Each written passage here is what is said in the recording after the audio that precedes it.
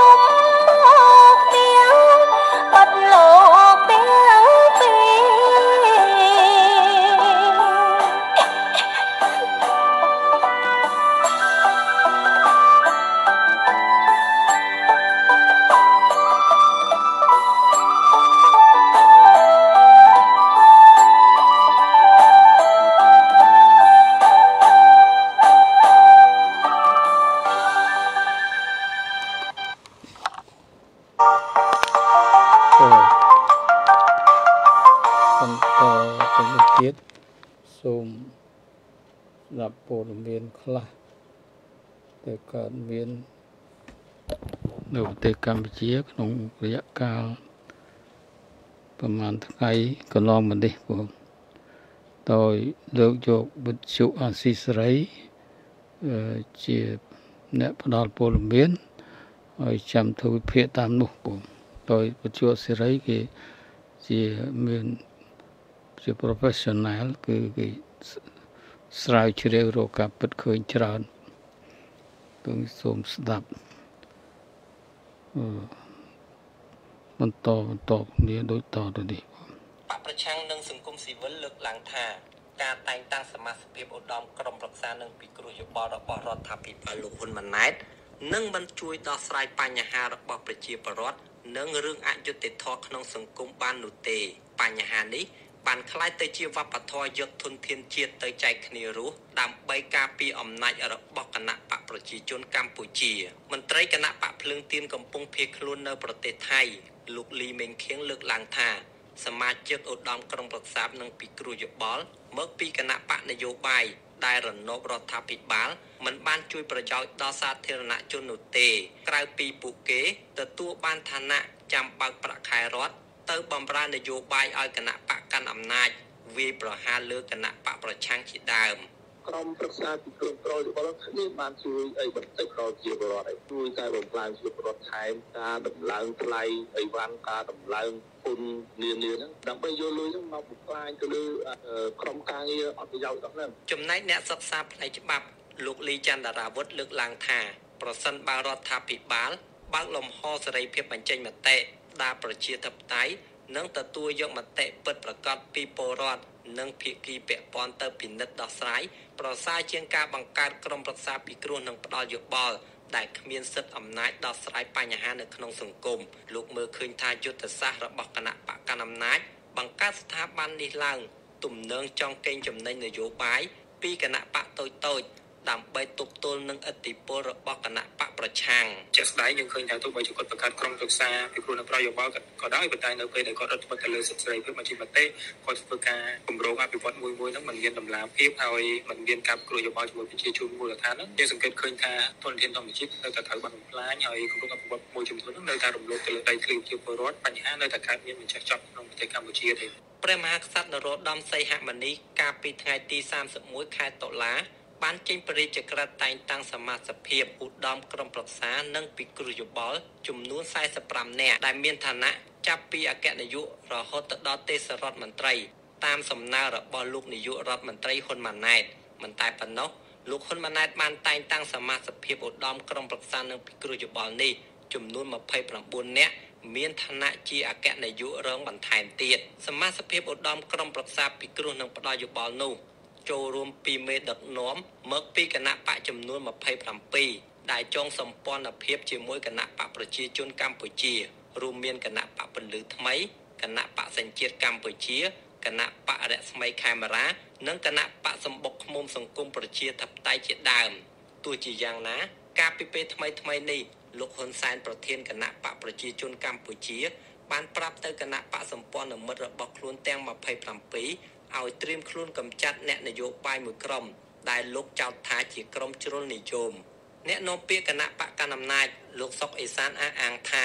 ការបង្កើតឧត្តមក្រុមប្រឹក្សានិងពិគ្រោះយោបល់ឆ្លើយតបទៅនឹងតម្រូវការចាំបាច់ហើយការបំពេញការងារកន្លងទៅ បានហុចផលជាច្រើនដល់ជាតិនិងប្រជាពលរដ្ឋតាមរយៈការត្រួតពិនិត្យអភិបាលកិច្ចដើម្បីឲ្យរដ្ឋាភិបាលដោះស្រាយចំណុចខ្វះខាត តែខ្ញុំយល់ថាវាមានផលចំណេញបានគេធ្វើបើមិនមានផលចំណេញទេស្រីរដ្ឋាភិបាលមិនធ្វើទេមិនមែនចំណាយប្រាក់ខែលោក ឯកឧត្តមប្រហែល4 10នាក់ហ្នឹងហើយមិនទទួលបានផលអាហ្នឹងគេមិនធ្វើទេឧត្តមក្រុមខ្សែពិគ្រោះនឹងផ្ដល់យោបល់នេះគឺធ្វើទូទៅគ្រប់រាល់សកម្មភាពរបស់បណ្ដាស្ថាប័នក្រសួងនានាមិនចំពោះតែក្រសួងណាមួយទេមើលទៅអាចធ្វើឲ្យត្រឹមត្រូវទៅតាមទូនាទីភារកិច្ចដែលបានកំណត់ជុំវិញរឿងនេះប្រធានមជ្ឈមណ្ឌលប្រជាពលរដ្ឋដើម្បីអភិវឌ្ឍនិងសន្តិភាពលោកយងកំឯងមានប្រសាសន៍ថា ការផ្ដល់ទូនាទីដល់សមាជិកឧត្តមក្រុមប្រឹក្សានិងពិគ្រោះយោបល់ដើម្បីកាត់បន្ថយសម្លេងប្រឆាំងនិងលើកទឹកចិត្តដល់គណៈបកនយោបាយដើម្បីកាត់បន្ថយសម្លេងរិះគន់លើរដ្ឋាភិបាលគឺมันចាំបាច់តាំងពីដំបូងពីព្រោះស្ថាប័នជាតិមានយន្តការនិងធនធានមនុស្សច្រើនលើសលប់គ្រាន់តែត្រូវការឆន្ទៈដោះស្រាយបញ្ហាជាតិនិងប្រជាពលរដ្ឋតែប៉ុណ្ណោះ ក្រុមប្រសាទក្រមផ្ដាល់យោបល់ហ្នឹងបានប្រក្រមផ្ដាល់យោបល់បានជាប្រយោជន៍ស្អីខ្លះហើយរដ្ឋាភិបាលបានយកយោបល់គាត់ទៅអនុវត្តយ៉ាងម៉េចខ្លះបាទអាហ្នឹងជារឿងមួយសំខាន់បើសិនជាអត់បាន ឃើញមានគោលនយោបាយណាមួយដែលត្រូវបានយកទៅអនុវត្តទៅលើកឡើងទៅធ្វើដោយរដ្ឋាភិបាលទេបាទអញ្ចឹងទេมันគួរនឹងចាំបាច់មានក្រុមប្រឹក្សាវិគ្រោះផ្ដាល់យោបល់នឹងផងបាទខ្ញុំឃើញមានការតិចកន្លងមកពីពន្ធបញ្ហាគោលនយោបាយគ្រឿងសង្វឹងចឹងបាទមិនទាំងនយោបាយពីគាត់ទៅអនុវត្តផងបាទឧត្តមក្រុមប្រឹក្សាពិគ្រោះនឹងផ្ដាល់យោបល់បង្កើតឡើងដោយលោកហ៊ុនសែននៅក្នុងអាណត្តិទី6 បន្ទាប់ពីលោករំលាយគណៈបកសង្គ្រោះជាតិហើយក្តោបក្តាប់យកអាសនៈទាំងអស់នៅក្នុងរដ្ឋសភាអានោះស្ថាប័ននេះមានគណៈបកចំនួន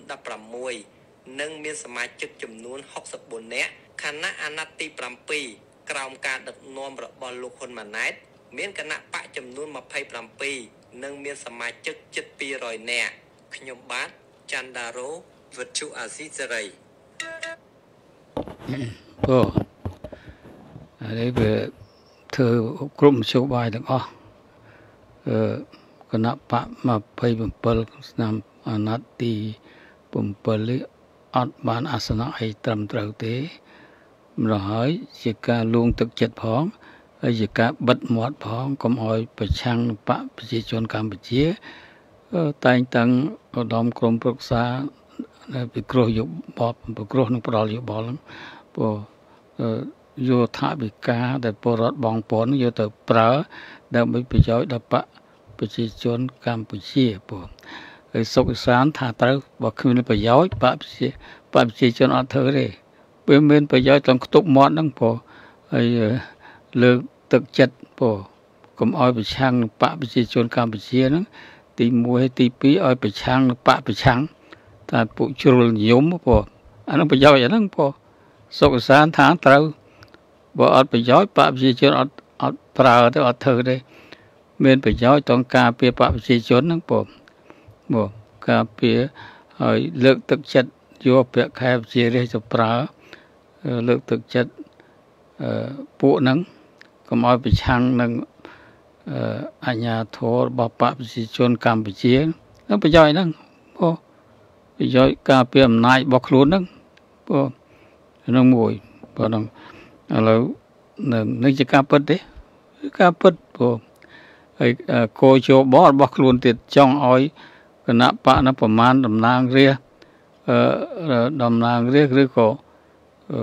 ក្រមប្រឹក្សាគុំសង្កាត់ប្រមាណដល់ស្រ័យតបប្រជាជនតើប្រជាជនជារៀបចំឲ្យបកណាប្រមាណឲ្យបកខ្លួនបានប្រមាណប្រមាណគឺអឺមានឯករាជ្យណាកោជបហ្នឹងបង ព្រោះរឿងដល់រៀបចំគោបើមិនរៀបចំគោជបទេក៏មិនបាច់បោះឆ្នោតទេព្រោះព្រោះបោះឆ្នោតណាបោះឆ្នោតក៏នៅបព្វជិជនកាន់អំណាចដដែលហើយបើថាអ្នកណាខ្លាំងឡើងសំលេងបំបត្តិចោលព្រោះមានតែប៉ុណ្្នឹងព្រោះបានការអីចឹងព្រោះមានយុទ្ធធម៌ឯណា ត្រឹមត្រូវឯណាបព្វជិជន ចាត់ចែងតែទាំងអស់ហ្នឹងរដ្ឋអំណាចបរដ្ឋអំណាចខុសច្បាប់ហ្នឹងសភាក៏ខុសច្បាប់នាយករដ្ឋមន្ត្រីក៏ខុសច្បាប់ព្រោះឥឡូវស្ដាប់តទៅទៀតព្រោះ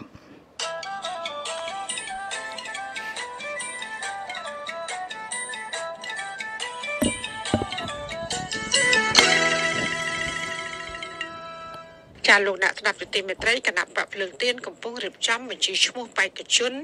ដើម្បីផ្ដល់ទៅឲ្យគណៈបកឆន្ទៈខ្មែរដែលជាគណៈបកសម្ព័ន្ធមិត្តរបស់ខ្លួន សម្រាប់ចូលរួមការបោះឆ្នោតអសកលនៅឆ្នាំ2024ខាងមុខមន្ត្រីជាន់ខ្ពស់នេះក៏បានស្នើទៅសមាជិកក្រុមប្រឹក្សាគុំសង្កាត់របស់គណៈបកភ្លើងទៀនឲ្យបន្តស្មោះត្រង់ជាមួយគណៈបកភ្លើងទៀន បើទោះបីជារយៈពេលចុងក្រោយនេះមានមន្ត្រីជាន់ខ្ពស់គណៈបកភ្លើងទៀនមួយចំនួន បានចាក់ចេញពីគណៈបកនេះទៅចូលរួមជាមួយនឹងគណៈបកកម្លាំងជាតិក្តីចាកញ្ញាខណ្ឌលក្ខណារិកាព័ត៌មាននេះក្តីសង្ឃឹមដែរគណៈបកភ្លើងទៀនចូលរួមប្រកួតប្រជែងការបោះឆ្នោតតាមរយៈគណៈបកឆន្ទៈខ្មែរកាន់តែមានក្តីរំពឹងខ្ពស់ដោយនៅពេលនេះគណៈកម្មាធិការជាតិរៀបចំការបោះឆ្នោតកោជប បានទទួលស្គាល់លិខិតចុះបញ្ជី ដើមរបស់គណៈបកឆន្ទៈខ្មែរដែលធ្វើឲ្យគណៈបកនេះមានសិទ្ធិគ្រប់គ្រាន់ក្នុងការចូលរួមប្រកួតប្រជែងជាមួយគណៈបកកណ្ដាលអំណាចចំណែកមេដឹកនាំគណៈបកភ្លើងទៀនដែលកំពុងរៀបចំសមាជិករបស់ខ្លួនឲ្យចូលរួមជាមួយគណៈបកឆន្ទៈខ្មែរដើម្បីមានសិទ្ធិគ្រប់គ្រាន់ជាបេក្ខជនឈរឈ្មោះបោះឆ្នោតអ្នកនាំពាក្យគណៈបកភ្លើងទៀនលោកកឹមសុភិរិទ្ធឲ្យដឹងថា ដើម្បីឲ្យសមាជិកគណៈបកភ្លើងទៀនអាចចូលរួមការបោះឆ្នោតអសកលឆ្នាំ2024នេះបាន គឺពួកគាត់ត្រូវតែលាលែងចេញពីសមាជិកគណៈបកភ្លើងទៀនជាមុនសិន ដើម្បីទៅចូលរួមជាមួយគណៈបកឆន្ទៈខ្មែរដែលមានសិទ្ធិគ្រប់គ្រាន់ក្នុងការចូលរួមប្រកួតប្រជែងការបោះឆ្នោតនាពេលខាងមុខនេះ។ អ្នកណាដែលត្រូវទៅឈរមានលែងពីភ្លើងទៀនទៅទៀនអីបាក់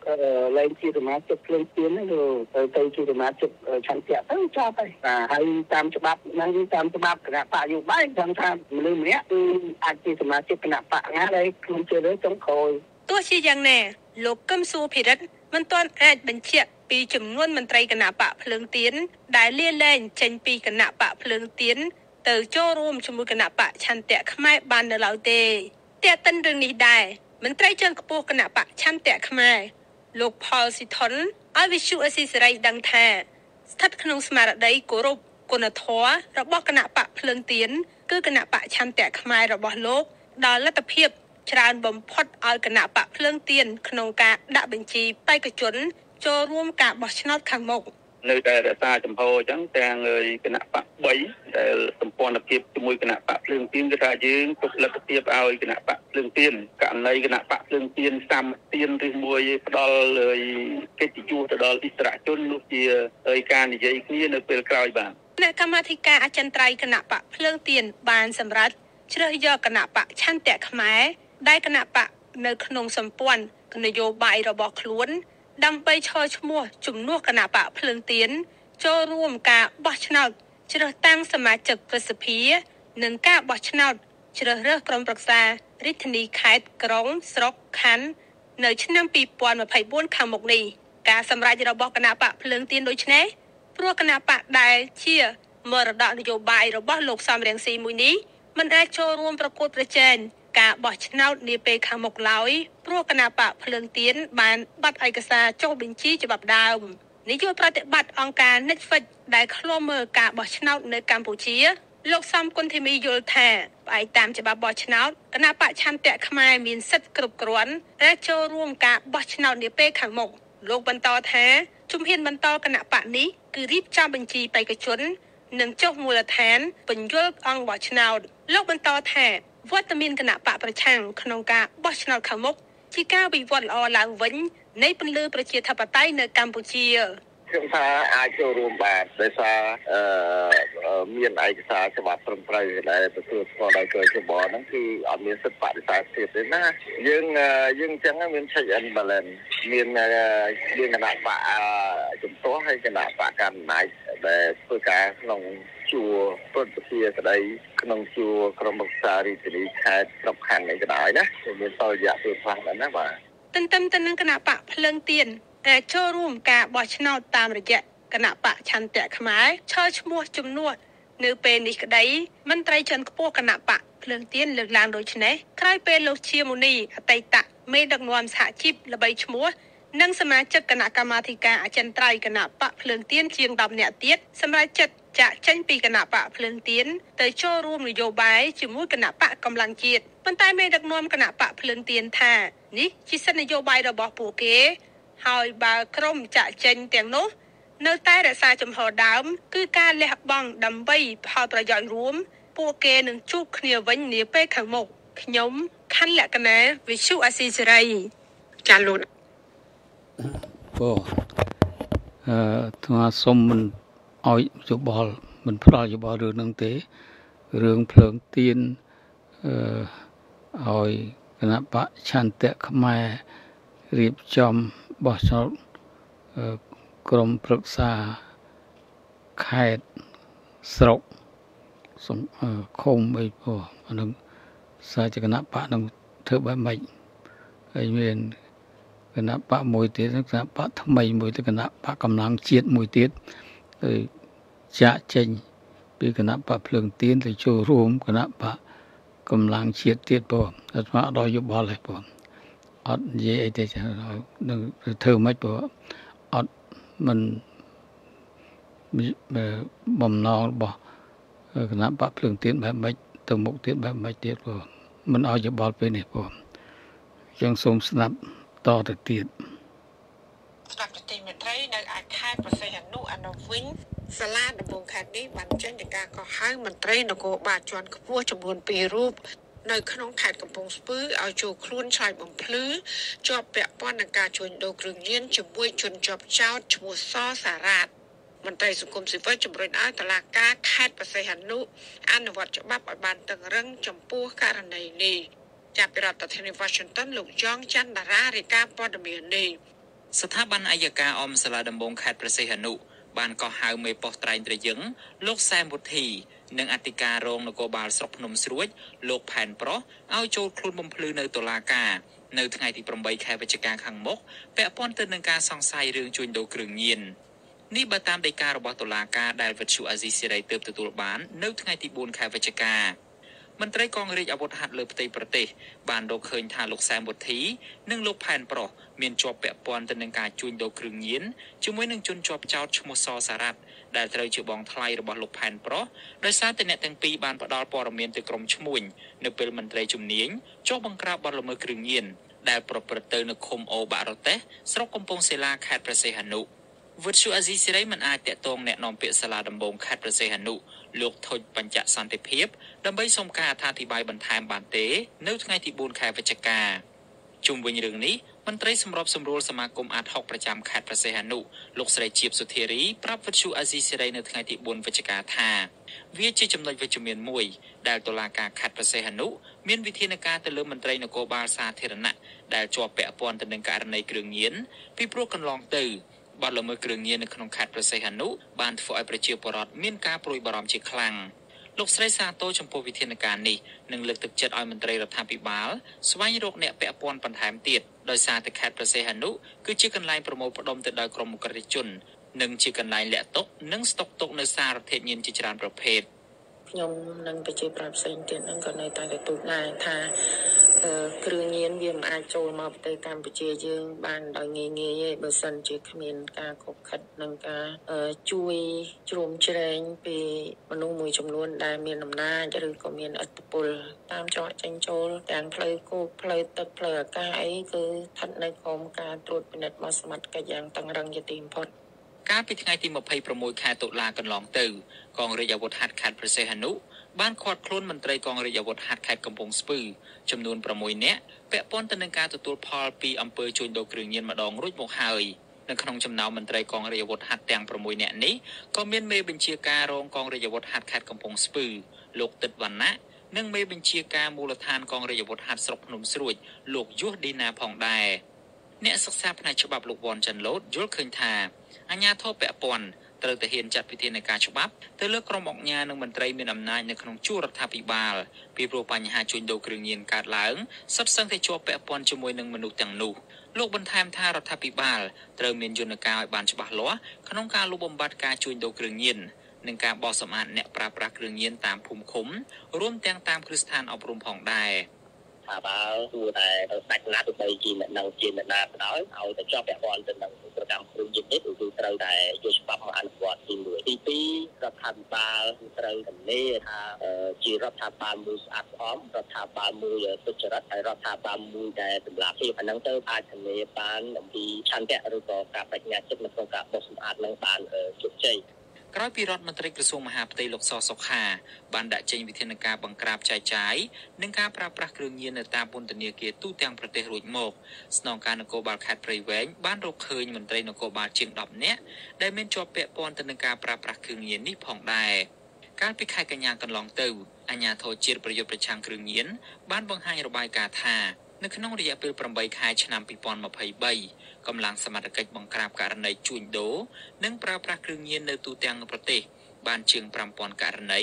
និងឃាត់ខ្លួនជនសង្ស័យបានជាង12000នាក់នៅក្នុងនោះសមត្ថកិច្ចបានដកហូតគ្រឿងញៀនជាង2600គីឡូក្រាម និងកញ្ឆាស្ងួតជិត50គីឡូក្រាម ហើយសារធាតុគីមី មានជាង800គីឡូក្រាមខ្ញុំយ៉ងច័ន្ទដារាវិទ្យុអេស៊ីសេរី Washington អូ រឿងបង្ក្រាបគ្រឿងញៀននេះបើកង្ប្រាពួកកពេចកពុកហ្នឹងមិនមិនបាត់ទេតែមេខ្លងធំធំអត់ចាប់អត់លើកចាប់បានទេបងចាប់បានល្អិតឡោចឡោចព្រោះអាធ្វើតាមគេធ្វើតាមអាមេធំព្រោះចាប់បានមេធំអាហ្នឹងបានឆាប់បាត់ព្រោះដាក់ទនកម្មទៅខ្លាំងហើយស្លេចសួរស្លេចសួរអ្នកដែលចាប់បានពួកប៉ូលីសពួកអីហ្នឹង តើមេធំនៅណាអើទៅតាមដានអាមេធំបានចាត់ការទៅមានប្រសិទ្ធភាព ដាក់ទនកម្មវាខ្លាំងបងប្អូននឹងគ្រឿងញៀននឹងគ្រោះថ្នាក់ខ្លាំងណាស់ដល់យុវជនខ្មែរសម័យក្រោយទៅគ្រឿងញៀននឹងទៅដល់ចុងកាត់មកញក់ទៅហើយបងអឺកូនសិស្សអីក៏ជក់រឿងហ្នឹងដែរក៏គ្រោះថ្នាក់ណាព្រោះ យុវជនសម័យក្រោយគ្រោះថ្នាក់ដែរបើនៅតែប្រើគ្រឿងញៀនរហូតដល់ផលិតនៅស្រុកខ្មែរទៀតចាប់បានកន្លែងផលិតទៀតនោះមិនដឹងបាត់អីនៅបាទកន្លែងមិនត្រឹមតែលក់ដូរចែកចាយហើយជក់ទេ គឺផលិតនៅស្រុកខ្មែរតែម្ដងអាហ្នឹងទៅកំចាត់អឺឲ្យបាត់ពោះឲ្យឲ្យច្រើនណាគ្រឿងញៀនច្រើនមែនទែនបង ច្រើនតោនទៀតបងហើយតែមិនចាប់បានអាមេធំទេអត់បាត់ទេព្រោះអាមេធំហ្នឹងគឺអ្នកបញ្ជាឲ្យលក់ដូរឲ្យផលិតអូហើយបើមិនចាប់បានពួកហ្នឹងទេ ទៅអត់រួចទេ ចាប់បានកបិចកពុកទៅដាក់ទណ្ឌកម្មកបិចកពុកប៉ុន្តែទៅសួរស្លេចសួរមេធំនៅណាហ៎អា ពុកអលួយធំនៅណាអាហ្នឹងបានបានកំចាត់បានមានប្រសិទ្ធភាពបើមិនសួរទេខ្លាចអ្នកមានអំណាចធំធំមិនហ៊ានចាត់ការទេអាហ្នឹងអត់ទេទៅរួចទេពូអាហ្នឹងគ្រោះថ្នាក់ធ្ងន់ណានៅស្រុកខ្មែរឬគ្រឿងញៀនហ្នឹងជាងស្រាជាងអីទៀតជាងញៀនវិញគោក្បាលអស់ក៏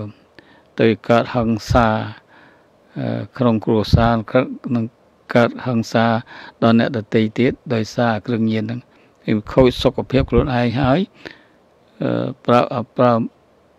កើតអំពើហិង្សាទៅលើជនដទៃទៀតផងអានឹងត្រូវកំចាត់ឲ្យបានអាមេធំធំ ទៅស្រាវជ្រាវហើយមាន មានតែខ្មែរនេះបរទេសផងបរទេសហើយខ្មែរយកមកជួយដូរលក់បានដោយសារអានុកក្នុង អានុកក្នុងពុកអលួយអាក្នុងឯងព្រោះវាចង់មានចង់បានខូចសុខភាពយុវជននេះទៅចាប់អានឹងឲ្យធ្វើទោសឲ្យធ្ងន់បានចេញរួចបើធ្វើលេងលេងធ្វើលេងលេងទេគ្មានទេអត់ទៅរួចទេណាតែអាគ្នាគ្នាឯងធ្វើលេងលេងព្រោះហើយចាប់អាណាដែលតូចតាចកពេចកពុកអត់បំបត្តិបានទេព្រោះឥឡូវស្ដាប់ តទៅទៀតចាលោកនាងកញ្ញាកំពុងស្ដាប់ការផ្សាយរបស់វិទ្យុអសីស្រីផ្សាយចេញពីរដ្ឋធានី Washington អង្គការសិទ្ធិមនុស្សក្រៅរដ្ឋាភិបាលក៏សម្គាល់ថារយៈពេល10ឆ្នាំចុងក្រោយនេះអំពើបោកបញ្ឆោតមនុស្សនិងស្ត្រីពីប្រទេសកម្ពុជា យកទៅជួញដូរផ្លូវភេទនិងកេងប្រវ័ញ្ចកម្លាំងពលកម្មនៅឯប្រទេសចិនកំពុងកើនឡើងគួរឲ្យព្រួយបារម្ភ ពួកគាត់មើលឃើញថាការកើនឡើងនេះដោយសារតែមន្ត្រីពុករលួយមួយចំនួន មានជាប់ពាក់ព័ន្ធនឹងសកម្មភាពនេះហើយប្រព័ន្ធតុលាការក៏មានវិធានការយឺតយ៉ាវក្នុងការចាប់ជនល្មើសជាដើមចាសសេចក្តីរាយការណ៍ពិស្ដារជំវិញរឿងនេះលោកដានៀងនឹងបានស្ដាប់នាពេលបន្តិចទៀតនេះ ចាលោកដានៀងកញ្ញាជាទីមេត្រីដំណើរគ្នានឹងស្ដាប់ការផ្សាយរបស់វិទ្យុអសីស្រី តាមបណ្ដាញសង្គម Facebook YouTube និង Telegram លោកតានាងក៏អាចស្ដាប់ការផ្សាយរបស់យើងតាមរយៈរលកធាតុអាកាសខ្លីឬ short wave តាមកម្រិតនិងកម្ពស់ដូចតទៅចាប់ពីព្រឹកចាប់ពីម៉ោង5កន្លះដល់ម៉ោង6កន្លះតាមរយៈប៉ុស SW 93.90 MHz ស្មើនឹងកម្ពស់ 32m និងប៉ុស SW 11.85 MHz ស្មើនឹងកម្ពស់ 25m ចាសម្រាប់ពេលយប់វិញ គឺចាប់ពីម៉ោង7កន្លះដល់ម៉ោង8កន្លះគឺតាមរយៈប៉ុស SW 93.30 MHz ស្មើនឹងកម្ពស់ 32m ប៉ុស SW 11.88 MHz ស្មើនឹងកម្ពស់ 25m និងប៉ុស SW 15.15 MHz ស្មើនឹងកម្ពស់ 20m ចាសសូមអរគុណ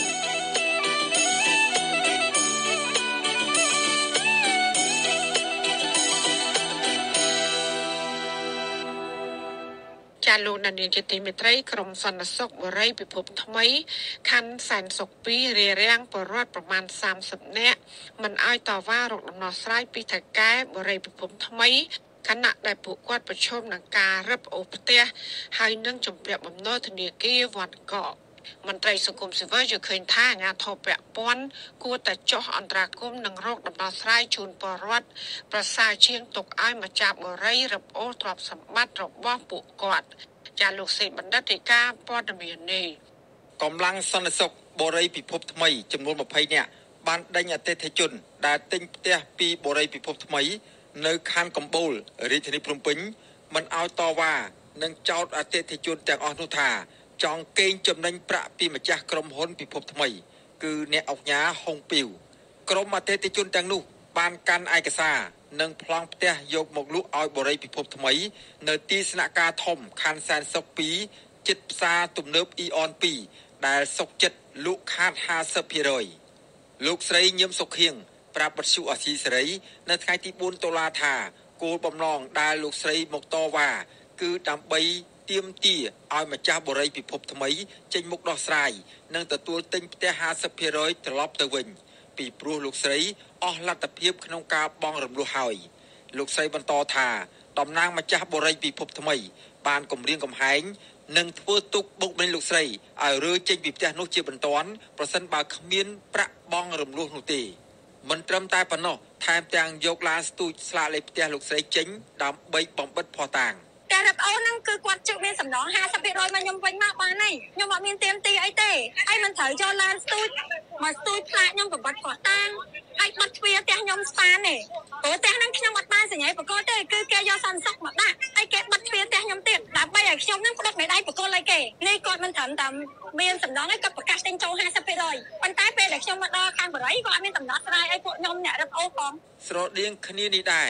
អតិថិជនទិញផ្ទះក្នុងបរិយពិភពថ្មីម្នាក់ទៀតគឺលោកម៉ងម៉ាសាខកចិត្តដែលដំណើរផ្ទះបរិយពិភពថ្មី ថាបាត់ទិន្នន័យឈ្មោះរបស់លោកដែលបានបងរំលោភផ្ទះនិងរកលេសមិនចង់ទូទាត់ប្រាក់សំណងឲ្យលោកវិញលោកបន្តថាលោកបានបងរំលោភផ្ទះអស់លុយជិត30000ដុល្លារដោយសារតែគ្មានលទ្ធភាពបង់លោកបានលក់ឲ្យខាងបរិយវិញប៉ុន្តែប្រាក់ដែលទទួលបាន ត្រឹមតែជាង3000ដុល្លារប៉ុណ្ណោះ ដែលខុសនឹងលក្ខខណ្ឌទទួលទិញ50%ការទៀមទារបស់អតិថិជនបូរីពិភពថ្មី នៅកម្ពុជា3ចាប់ផ្ដើមឡើងកាលពីថ្ងៃទី18ខែតុលាបន្ទាប់ពីពួកគាត់លែងមានលទ្ធភាពបង់រំលោះផ្ទះដោយសារបញ្ហាជីវភាពខ្វះខាតខណៈពួកគាត់មួយចំនួនកំពុងប្រឈមនឹងការរឹបអូសផ្ទះទៅវិញរីឯមួយចំនួនទៀតត្រូវបានបរិយរឹបអូសយកផ្ទះជាស្ថាពរហើយពលរដ្ឋដែលបានទិញផ្ទះពីបរិយពិភពថ្មី មានតម្លៃចន្លោះពីជាង50000ដុល្លារទៅជាង100,000ដុល្លារពួកគាត់ត្រូវបង់រំលោះចន្លោះពី500ដុល្លារទៅ700ដុល្លារក្នុងមួយខែវិទ្យុអាស៊ីសេរីនៅពុំទាន់អាចតកតងម្ចាស់ក្រុមហ៊ុនបូរីពិភពថ្មីអ្នកអង្គការហុងពីវនិងប្រធានអង្គភិបអ្នកណែនាំពាក្យរដ្ឋាភិបាលលោកប៉ែនបូណាដើម្បីសុំការបោះស្រាយជុំវិញបញ្ហានេះបានទេ នៅថ្ងៃទី4ខែវិច្ឆិកាប៉ុន្តែកាលពីថ្ងៃទី3វិច្ឆិកា ក្រុមហ៊ុនបូរីពិភពថ្មីអ្នកអង្គការហុងពីវបានប្រកាសឲ្យអតិថិជន អនុវត្តតាមកិច្ចសន្យាដោយក្រុមហ៊ុន សន្យាទទួលទិញផ្ទះត្រឡប់មកវិញ ចំនួន50%នៃប្រាក់ដែលបានបង់រំលោះដោយសារការបង់រំលោះបានចាប់ពី7ខែឡើងទៅ ដោយបូកជាមួយនឹងប្រាក់កក់និងប្រាក់ដើម ជាមួយនឹងប្រាក់ជំពាក់ករណីបើអតិថិជនគ្មានក្រដាស់កិច្ចសន្យាទទួលទិញផ្ទះវិញទេខាងក្រុមហ៊ុន នឹងមិនទទួលទិញផ្ទះវិញទេទោះយ៉ាងណាពលរដ្ឋហាងថាថៅកែក្រុមហ៊ុនកិច្ចវេះមិនចង់សងលុយអតិថិជន ពីព្រោះនៅពេលដែលពួកគាត់កាន់ឯកសារនិងប្លង់ផ្ទះទៅលក់ឲ្យខាងភៀកីថៅកែក្រុមហ៊ុន បែរជាថាបាត់ទិន្នន័យអតិថិជនដែលទិញផ្ទះទាំងអស់នោះទៅវិញ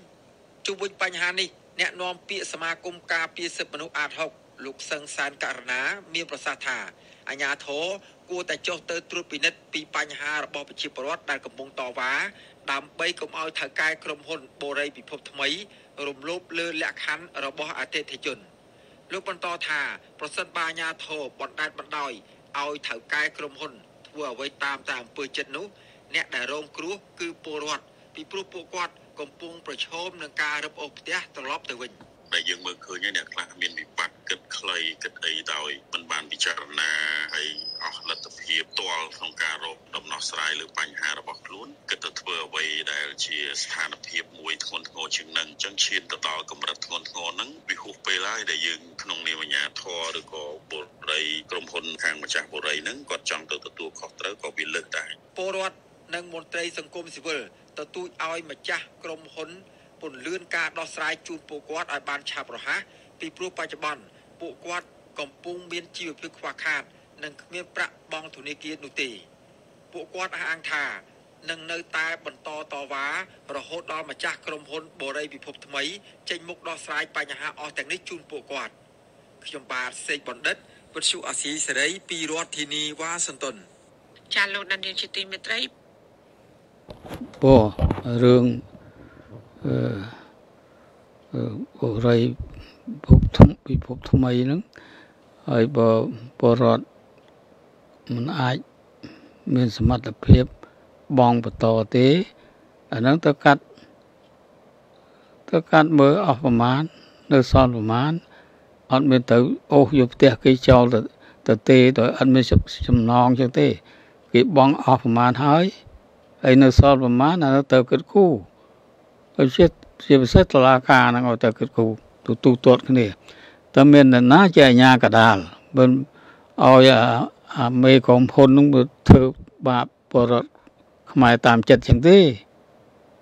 ហ៎អាញាធរខ្មែរធ្វើបង្ើយពោខ្លួនទទួលខុសត្រូវមិនគិតមើលមិនគិតមើលអឺលក់ចេញទិញចូលហ្នឹងទៅទៅសម្រួលទៅ ដូចក្រសួងការងារទៅសម្រួលលើហ្នឹងពោអត់មានទៅនៅស្ងៀមទេហើយខ្លួនទទួលខុសត្រូវស៊ីប្រាក់ខែរះធ្វើធ្វើបង្ើយអញ្ចឹងហ៎ធ្វើការអញ្ចឹងមិនអាយអត់គ្នាមិនធ្វើការអញ្ចឹងធ្វើបាបរះអញ្ចឹងឲ្យអាមេអាមេកុំហ៊ុននឹងអូសយកផ្ទះគ្នាទៅថាលុយគេចេញអស់ប្រមាណហើយមិនគិតទូទាត់គេសងគេណាបើគេ អត់ខ្វះខាតអត់មានអីបងបន្តអាហ្នឹងទៅទូទាត់គ្នាមិនឲ្យទៅឲ្យខាតទេអើបរិយវិភពបរិយនេះបងអឺទៅទូទាត់មកទៅគេបងខាតអស់ប្រមាណហើយហើយគ្មានបងបន្តទេទៅទូទាត់ឲ្យគេវិញអឺមិនកុំធ្វើវាអាញាធោះខ្មែរធ្វើបង្ើយអាពួកកាន់អំណាចខុសច្បាប់នេះ ពួកខ្លួនឯងកាន់ខុសច្បាប់កាន់ធ្វើឲ្យត្រឹមត្រូវមើលហ៎មិនក៏ធ្វើអញ្ចឹងហើយស៊ីប្រាក់ខែរះអញ្ញាធកខ្មែរនេះខ្លួនគ្រប់គ្រងពួកអស់ហ្នឹងមើលកុំធ្វើការវាចាំឲ្យគ្នាទទួលរងគ្រោះដល់ភ្ញៀវក្រុមហ៊ុនវាធ្វើបាបហើយយើងធ្វើបង្ើយមិនហ៎មិនទូទាត់គ្នាបងអស់ប្រមាណហើយ ហើយអត់មានសមត្ថភាពបងបន្ថែមទៅទូទាត់រឿងហ្នឹងអស់លុយប្រមាណហើយទៅសងមកវិញបើថាខ្លួនយកផ្ទះនឹងវិញយកយកអាគារនឹងវិញមិនកំពុងធ្វើអាហ្នឹងអយុធធរអាហ្នឹងបងនៅនៅត្រមអយុធធរអញ្ចឹងមានអាញាធរសម្រាប់ធ្វើការរឿងហ្នឹងមិនកំពុងធ្វើការមិនលឺធ្វើការសោះមិនមានច្បាប់ គឺធ្វើទៅមានច្បាប់ច្បាប់ថាម៉េចឥឡូវហ្នឹងមានអូសយករបស់គេទៅទេទៅទេគេបង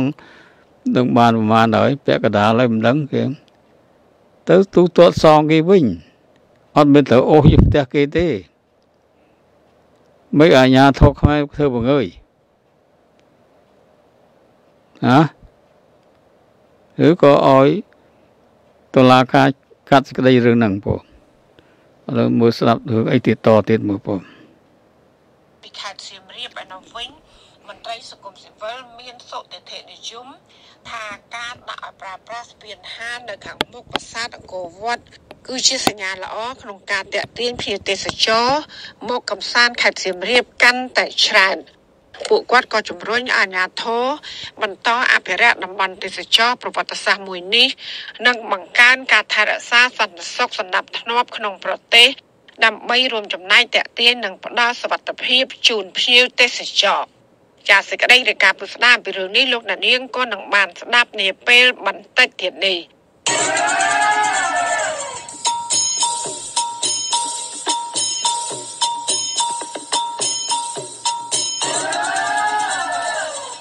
លោកអ្នកស្ដាប់ទីមេត្រីអ្នកខ្លំមើលធនធានធម្មជាតិនិងសហគមន៍ការពារប្រៃឈើរីគុណសម្ដេចប្រសង្ឃរាជដែលបានតែងតាំងលោកត្រីភិបឲ្យធ្វើជាឧត្តមទីប្រឹក្សាគណៈអង្គការរូបនេះមានគេឈ្មោះល្បីរឿងរកស៊ីបំផ្លាញធនធានធម្មជាតិជាកញ្ញាខណ្ឌលក្ខណៈមានសេចក្តីរាយការណ៍ដាច់ដライមួយទៀតជំវិញព័ត៌មាននេះ ក្រុមអ្នកការពារធនធានធម្មជាតិរិះគន់ចំចំថាសម្ដេចសង្ឃមិនគួរយកអ្នកបំផ្លាញទ្រព្យសម្បត្តិជាតិធ្វើជាទីប្រឹក្សាផ្ទាល់នោះទេខណៈកន្លងទៅ ទាំងអង្គការជាតិនិងអន្តរជាតិរកឃើញថាលោកត្រីភិបជាមេអ ுக ្រិតជន បំផ្លាញធនធានធម្មជាតិនៅកម្ពុជា ការរិះគន់នេះធ្វើឡើង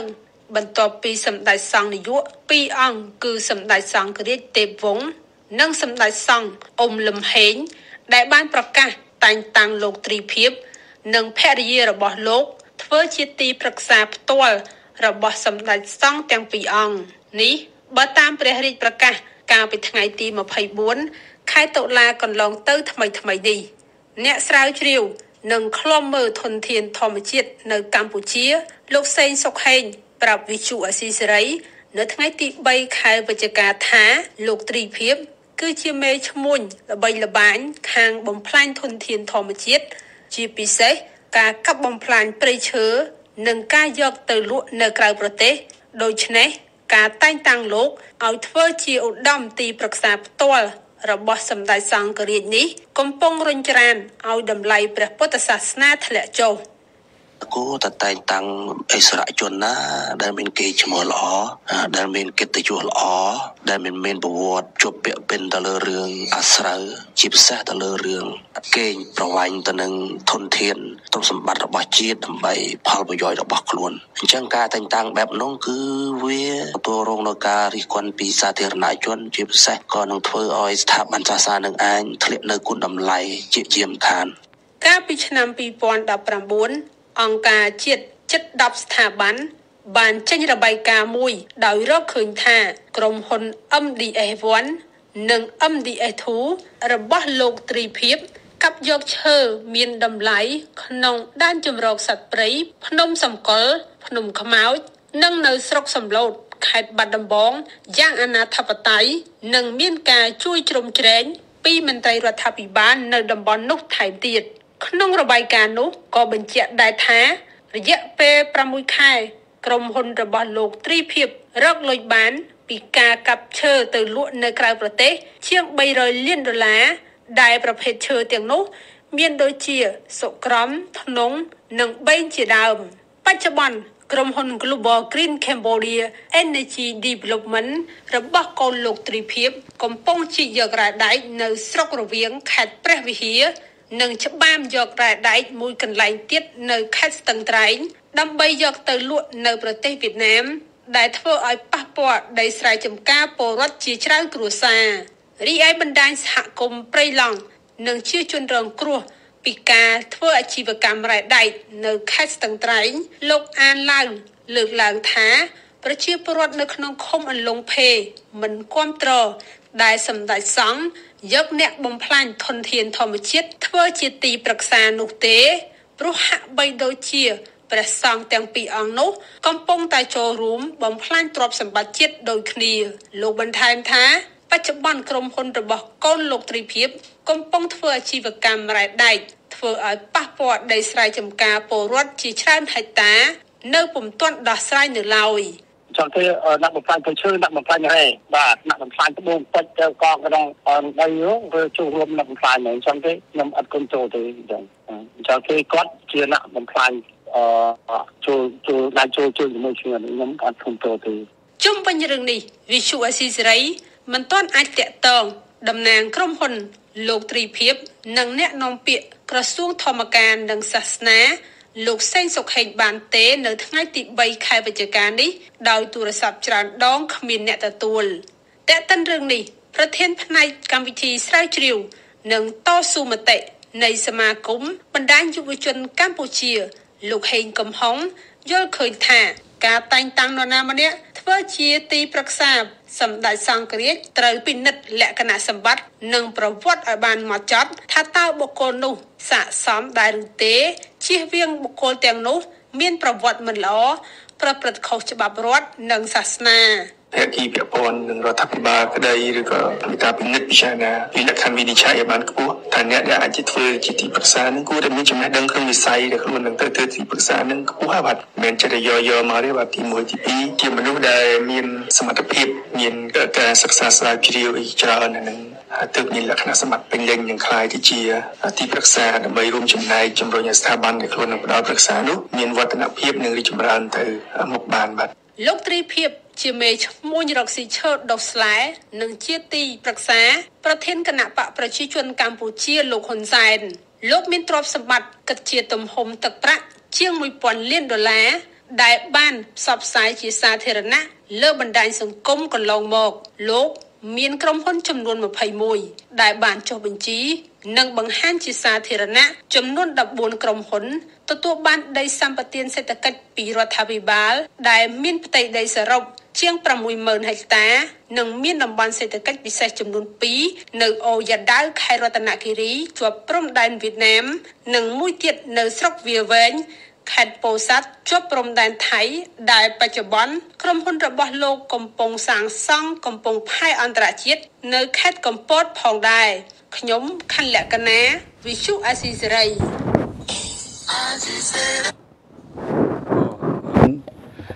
អឺខាងគណៈសង្ឃយកអ្នកចេះសាសនាពុទ្ធពុទ្ធពីប្រឹក្សាបានត្រឹមត្រូវហើយអ្នកចេះច្បាប់ទម្លាប់ត្រឹមត្រូវតែយកមេចោ មេចោកាប់បំផ្លាញព្រៃឈើរបស់ជាតិយកមកធ្វើទីប្រឹក្សាធ្វើអីហ្នឹងហើយសម្ដេចសង្ឃរាជហើយអឺដោយគុណអមនេះលំហេងបើជាពោធិវាំងអីវាឡើងសម្ដេចហើយសម្ដេចពោធិវាំងអញ្ចឹងបងត្រូវពិចារណាមកថាជាពិសេសក្រសួងធម្មការទៅលើកឡើងយកមកពិនិត្យឡើងវិញក្រសួងធម្មការ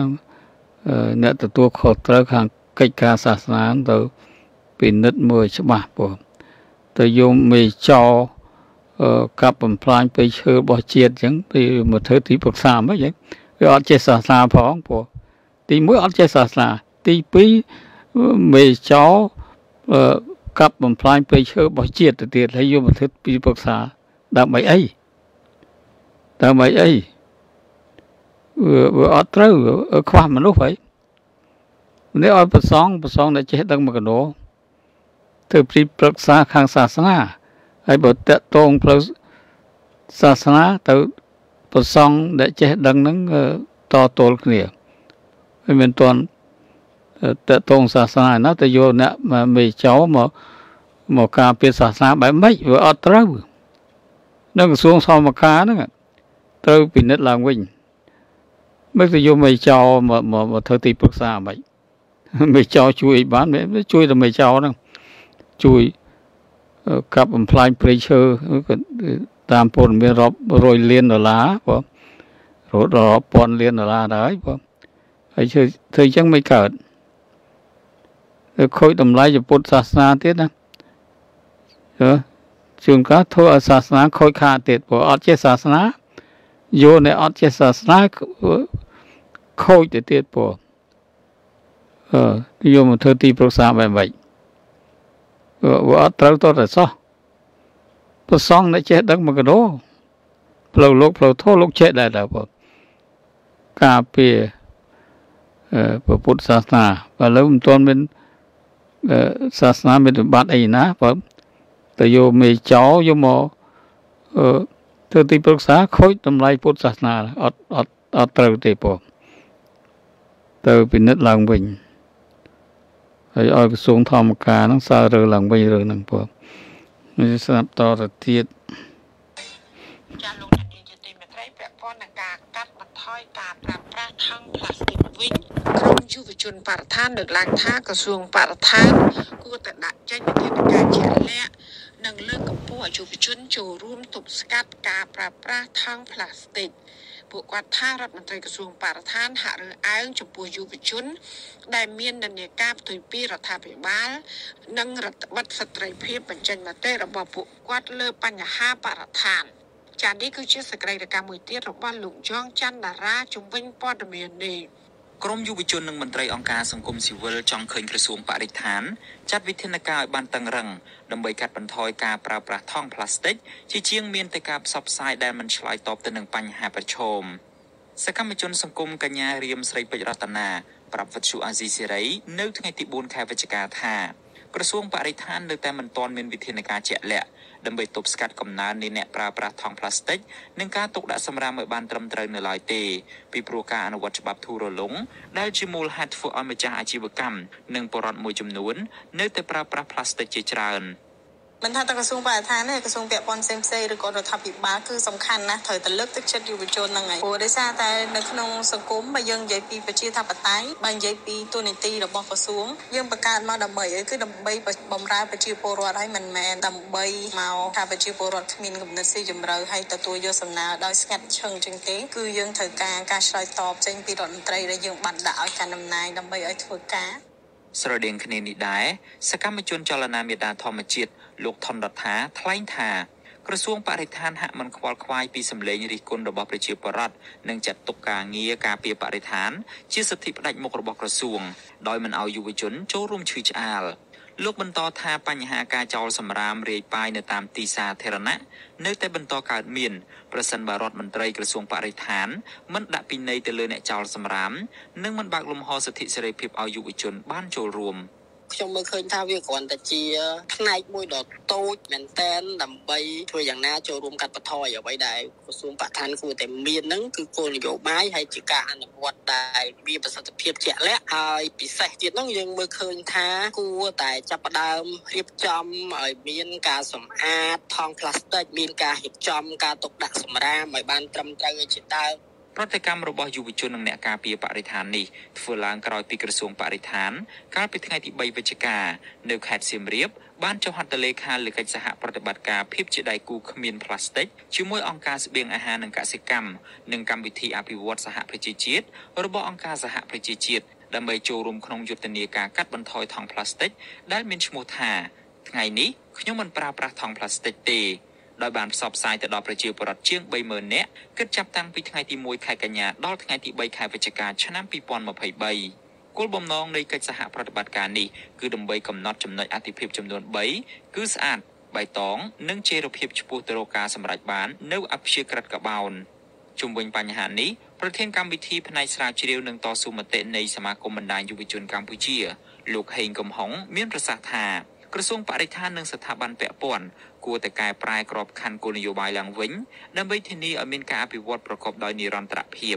លោកបន្តថាសង្គមប្រជាធិបតេយ្យគួរតែបើកឱកាសឲ្យយុវជនចូលរួមបញ្ចេញមតិអំពីបញ្ហាបរិស្ថាន។ អ្នកដែលចូលរួមជំរុញចលនានេះឲ្យមានសិទ្ធិភាពគឺប្រជាប្រដ្ឋគឺជាកត្តាប្រកបទៅដោយបរិយាបន្នយ៉ាងសំខាន់ដែលគួរតែត្រូវបានជំរុញហើយនឹងលើកទឹកចិត្តឲ្យមានការអនុវត្តសម្រាប់ទាំងអស់គ្នាបាទហើយពលរដ្ឋនឹងសំខាន់ណាស់គាត់បើសិនជាគាត់ជាអ្នកអនុវត្តគោលនយោបាយផងគាត់ជាអ្នកលើកស្ទួយការគ្រប់គ្រងនិងការកាត់បន្ថយការប្រើប្រាស់ផ្លាស្ទិកផងហើយក៏ជាអ្នកដែលចូលរួមអប់អប់រំផ្សព្វផ្សាយទៀតនោះវារឹតតែធ្វើឲ្យកម្មភាពនេះកាន់តែលឿនរហ័សបាទ កាលពីថ្ងៃទី31ខែតុលាអាជ្ញាធរខណ្ឌដូនពេញ បានរៀបរៀងយុវជនមួយក្រុមដែលយកញត្តិទៅដាក់នៅក្រសួងបរិស្ថានដើម្បីស្នើឲ្យរដ្ឋាភិបាលដំឡើងពន្ធទៅលើការនាំចូលថង់ប្លាស្ទិកចន្លោះពី10%ទៅ15%និងស្នើឲ្យដំឡើងតម្លៃថង់នៅតាមផ្សារទំនើបចំនួន800រៀលក្នុងមួយថង់ដើម្បីទប់ស្កាត់ការប្រើប្រាស់ថង់ប្លាស្ទិក មន្ត្រីក្រសួងបរិស្ថានបានទទួលយកញត្តិរបស់ក្រមយុវជនក៏ប៉ុន្តែមកដល់ពេលនេះមិនទាន់មានការឆ្លើយតបណាមួយនៅឡើយទេក្រមយុវជននិងមន្ត្រីអង្គការសង្គមស៊ីវិលព្រួយបារម្ភថាការអនុវត្តច្បាប់ធូររលុងនឹងធ្វើឲ្យបញ្ហាចោលសម្រាមគ្មានសណ្ដាប់ធ្នាប់នៅតែបន្តកើតមានដែលនឹងជះឥទ្ធិពលដល់សុខភាពមនុស្សសត្វជីវៈចម្រុះនិងបញ្ហាខ្យល់ពុលជាដើម ជាពិសេសអាចធ្វើឲ្យបាត់បង់ភ្ញៀវទេសចរមកកំសាន្តនៅកម្ពុជា ខ្ញុំយ៉ងច័ន្ទដារាវិទ្យុអាស៊ីសេរី Washington ពោះប្រុងស្រះតិចនៅកាណាដាគេកំចាត់បានណាគេអត់យកមកប្រើទេគេកដាស់ឯផ្សេងពោះគេគិតលុយតាមហ្នឹងអឺប្លង់ផ្លាស្ទិកគេលេងប្រើសោះហ្មងបងតាមហាងតាមអីអឺទិញបើយើងគ្មានអីខ្ជាប់ទេគេឲ្យកដាស់ទៅគេតាក់តែងជាកដាស់ ប្រើกระดาษអីវិញហើយព្រោះឥឡូវខ្លួនយើងមកថាអន្តរជាតិគេឲ្យកំចាត់ខូចបរិស្ថានព្រោះប្លង់ស្លាស្ទិកមិនងាយលួយទេព្រោះខូចបរិស្ថានធ្ងន់ណាព្រោះហើយអង្គទី1ឥឡូវគេលេងប្រើនៅកាណាដាបើនៅកាណាដាខូចច្បាស់ទៅទិញអីអីអត់មានប្លង់ស្លាស្ទិកទេអូហើយគេប្រើกระดาษប្រើกระดาษ តែប្រើกระดาษគេធ្វើអាกระดาษទៅមកប្រើមកអត់មានប្លង់ស្លាស្ទិកទេនឹងគឺគេធ្វើមុខរបររបស់គេមិនជឿថាប្រើกระดาษប្រើអីណាទៅវិញទៅហ្នឹងក៏មានក្រុមហ៊ុនដែរគេអាចធ្វើអាกระดาษធ្វើចំនួនកដាស់បរោយបើចេញមកកដាស់ពេញទីអត់មានប្លង់ផ្លាស្ទិកទេព្រោះគេកំចាត់បានមកពោះហើយអីមិនមានបាច់តម្លើងថ្លៃ ផ្លាស្ទិកឲ្យតម្លើងថ្លៃក៏អត់ប្រយោជន៍ដែរកុំឲ្យមានហ្មងពោះកុំឲ្យមានអាផ្លាស្ទិកហ្នឹងមកគេធ្វើកើតហើយនៅបរទេសគេធ្វើកើតហើយយើងធ្វើបំផ្លាញបរិស្ថានខ្មែរពោះខូចសុខភាពខ្មែរវាមានផ្លាស្ទិកមានលួយណាមើលកំពុំគិតរបស់ធ្វើកើតកំពុំគិតបើជានាំនាំចូលហើយក៏រត់នឹងបង្កើត กระดาษសម្រាប់ប្រើខ្ចប់ផ្សេងៗទៅហើយក៏ឲ្យក្រុមហ៊ុនណាគេធ្វើអាហ្នឹងគេគេធ្វើបានហើយកាលណាគេធ្វើបានហើយសួរអ្នកកាលណាមើលអត់មានផ្លាស្ទិកទេគេកំចាត់បានគេប្រើกระดาษអូបើយើងគ្មានអីខ្ចប់វិញទេគេឲ្យកដាស់ហ្នឹងក៏បើគេគិតលួចតិចតួចខ្លះខ្ចប់វិញណាបើហើយខ្លួនឯងបើគ្មានសមត្ថភាពធ្វើការហ៎ គ្មានសមត្ថភាពធ្វើការសោះដល់រដ្ឋនេះរដ្ឋរដ្ឋធ្វើការអត់កើតប្លន់អំណាចពីប្រជារាស្ត្រព្រោះបោះឆ្នោតមិនត្រឹមត្រូវអីជាការអំណាចទៅហើយធ្វើការអត់កើតអត់លាចេញពីតំណែងហើយបើរដ្ឋមន្ត្រីដែលកាន់ការរឿងហ្នឹងទៅលាចេញពីតំណែងបើបើមិនចឹងធ្វើទណ្ឌកម្មបានបានខ្លាចដាក់ទណ្ឌកម្មលេខ1បានខ្លាចបើទី1ទី2រឿង យុវជនជួយ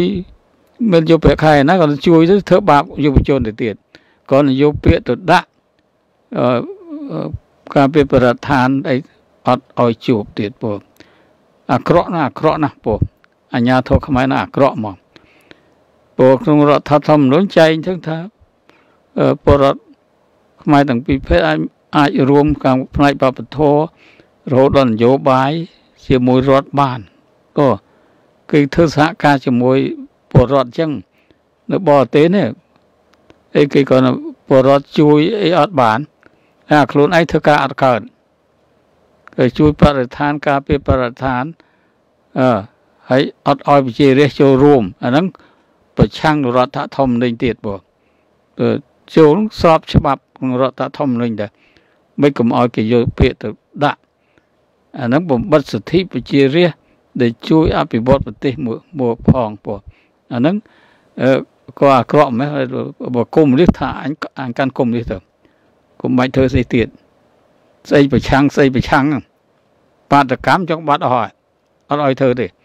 ក៏ហើយក៏ញញញាត់ទេទៅដាក់បិទបើអាញាធរខ្មែរបិទទៀតអាលើវាចឹងអាក្រមក៏ពធូដៃខ្លះទៅកុំជឿអាលើវិញ អាពួកលើនឹងជួនវាប្រទេសផ្ដាស់ព្រោះកណ្ដតិផ្ដាច់ការកុំឲ្យផ្ដាច់ការតាមគ្នាខ្លាំងពេកហ៎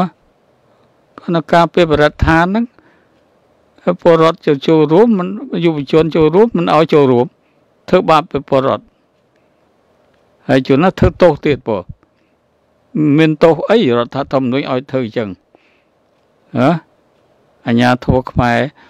កុម្មុយនីសហើយក៏សេរី ការការសងថ្ងៃនេះពួកនោះពួកកុម្មុយនីសពួកសេរីបើពួកសេរីគេអត់មានហាមទេគេអទៀត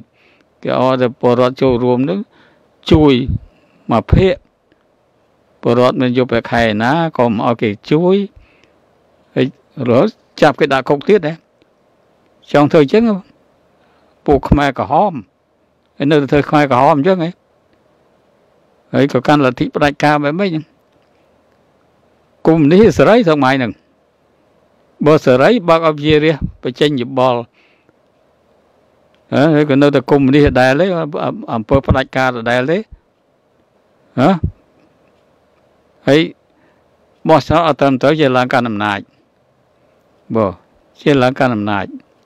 នឹងប្រជាពលរដ្ឋមានសិទ្ធិទម្លាក់ចោលពួករដ្ឋមន្ត្រីធ្វើការអត់ត្រឹមត្រូវ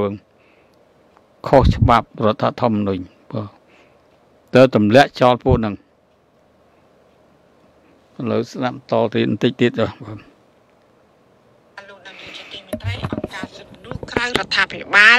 ក៏សម្គាល់ថារយៈពេល10ឆ្នាំចុងក្រោយនេះអំពើបោកបញ្ឆោតមនុស្សនិងស្ត្រីពីប្រទេសកម្ពុជា យកទៅជួញដូរផ្លូវភេទនិងកេងប្រវ័ញ្ចកម្លាំងពលកម្មនៅឯប្រទេសចិនកំពុងកើនឡើងគួរឲ្យព្រួយបារម្ភ ពួកគាត់មើលឃើញថាការកើនឡើងនេះគឺដោយសារតែមន្ត្រីពុករលួយមួយចំនួន មានជាប់ពាក់ព័ន្ធនឹងសកម្មភាពនេះហើយប្រព័ន្ធតុលាការក៏មានវិធានការយឺតយ៉ាវក្នុងការចាប់ជនល្មើសជាដើមចាលោកថាថៃមានសេចក្តីរាយការណ៍ពិស្ដារជំវិញរឿងនេះដូចតទៅ ក្រុមអង្គការសង្គមស៊ីវិលមួយចំនួនកំពុងតែខិតខំជួយសង្គ្រោះជនរងគ្រោះដោយសារអំពើជួញដូរកម្លាំងពលកម្មនិងជួញដូរផ្លូវភេទពីប្រទេសចិនឲ្យត្រឡប់មកមាតុភូមិវិញព្រមទាំងធ្វើយុទ្ធនាការតាមមូលដ្ឋានដើម្បីផ្សព្វផ្សាយកុំឲ្យប្រជាពលរដ្ឋចាញ់បោកមេខ្យល់ហើយធ្វើចំណាក់ស្រុកចេញទៅរកការងារធ្វើនៅក្រៅប្រទេសដោយប្រថុយប្រឋាន ការប្រឹងប្រែងរបស់អង្គការសិទ្ធិមនុស្សនេះគណៈដែលបច្ចុប្បន្នអំពើបោកបញ្ឆោតមនុស្សពីកម្ពុជាយកទៅជួញដូរកម្លាំងពលកម្មនិងជួញដូរផ្លូវភេទនៅឯប្រទេសចិនកំពុងកើនឡើងនាយកប្រតិបត្តិអង្គការសង្ត្រាល់លោកមឿនដុល្លារមានប្រសាសន៍ថា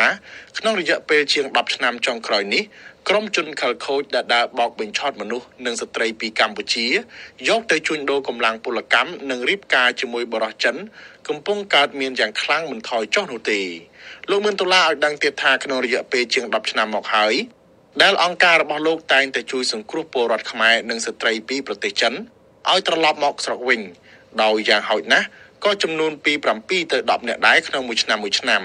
បច្ចុប្បន្ននេះមានជនខិលខូចខ្លះតែងតែដើរទៅតាមតំបន់ដាច់ស្រយាលតាមបណ្ដាខេត្តមួយចំនួនហើយបោកបញ្ឆោតមនុស្សដែលពេញកម្លាំងឲ្យទៅធ្វើការព្រមទាំងស្ត្រីក្មេងៗមានរូបសម្រស់ស្អាត ថាទៅធ្វើការនៅប្រទេសចិន គឺបានប្រាក់ខែថ្លៃពី2000ទៅ3000ដុល្លារក្នុងមួយខែ